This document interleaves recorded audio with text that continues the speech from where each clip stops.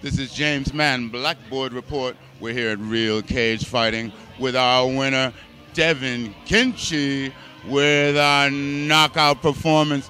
Boy, that was some banging you you put you put on put on him this evening, young man. Tell us about that. Um, you know, I, I'm known as a grappler for the most part, and I figured why not come out, throw some punches, see how it feels, do some do some work before I get ready to go to pros. And I uh, felt great, felt comfortable out there in my camp. We did a lot of striking.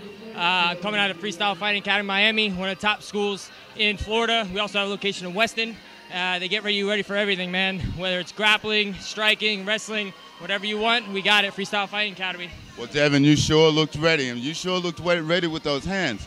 You say you're primarily a grappler. Your striking skills are awesome, brother. Thank you, sir. Thank you, sir. Like I said, man, uh, here at the Freestyle Fighting Academy, you train for everything. So it's not like you're going to a grappling school or like you're going to a kickboxing or boxing school. You're going to an all-around fighting academy where you feel comfortable standing up on the ground, whether you want to take to the ground or keep it up. Well, Davin, let me tell you something. There was you made no bout a doubt it, brother.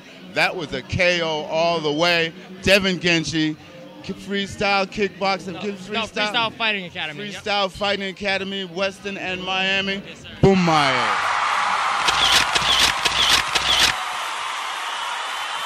The best man in the interview game right now.